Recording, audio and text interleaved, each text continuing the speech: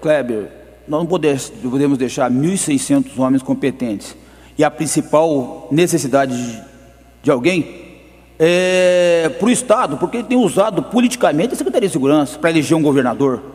Então, como, como que eu vou cobrar o quê de alguém que não quer resolver o problema de segurança? Que quer fazer cabide político para um candidato a governador? O senhor está falando que o, que o governador Marconi Perillo está usando a Secretaria de Segurança Pública para promover o José Hélio, é isso? Você tem alguma dúvida disso? Eu não tenho. E nem, nenhum ouvinte nesse momento no rádio, que está nos ouvindo na 730, sabe disso. Ou eu estou mentindo? Né? Então, nós teríamos que ter na Secretaria de Segurança um técnico, um especialista. O que, me diga uma coisa, qual a provisão do atual vice-governador? É advogado. Advogado o quê? Eleitoral. Você pode ficar brincando de fazer segurança pública? Colocar um advogado eleitoral que entende de, de eleitoral é a mesma coisa que você colocar um padeiro para construir um prédio.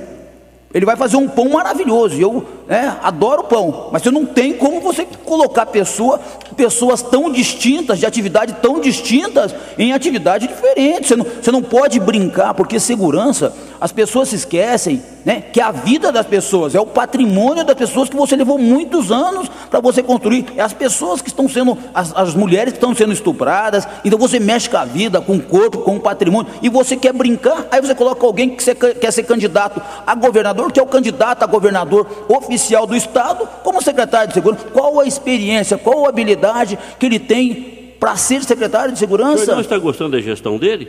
Oi? O senhor não está gostando da gestão é, do secretário? Eu não tenho que gostar, porque a é gestão, é a, a, a, gestão dele não é. Na, eu não tenho que gostar ou desgostar. Quem tem que gostar ou desgostar é o cidadão. E ele vai mostrar isso na, nas urnas agora. Inicialmente, dia 2 de outubro. O senhor não é depois, da base, depois, dois, depois, em 2018. O senhor não se considera mais da base do governador, não? Base? O que, que, é isso? Ué, é de comer, do... de beber? O senhor foi eleito pelo não. PSDB, ué, mesmo partido é, do governador. Ué. É, eu diria para você, o PR, o PR que me acolheu, ele é da base do atual Michel Temer, é da base, é, é, o partido é da base, mas o delegado Valdir... É da base do governador é, é Marconi Perillo É só também. você ver as minhas votações, ah. as minhas votações e minhas manifestações nas redes sociais, é, é eu sou de atitude, de atitude de ações independentes. Né? Eu voto e eu, eu tenho é, convicções em princípio, e princípios diferentes. É, por um acaso eu fui aclamado e tive, foi negociado para mim dezenas de partidos para apoio na minha campanha? Sim ou não?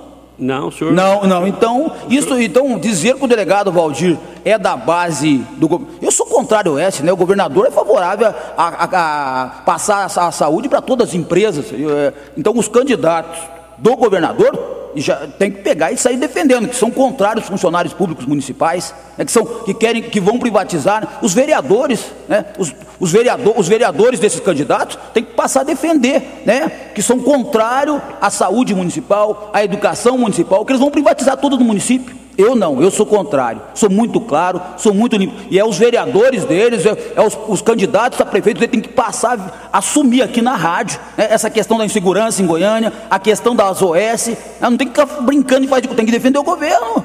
Né? Eles, são, eles são governo, tem que defender. Eu, eu, vocês sabem, a minha atitude sempre foi assim. Não é o primeiro momento que eu venho aqui na 730 e tenho sido extremamente transparente e claro, né?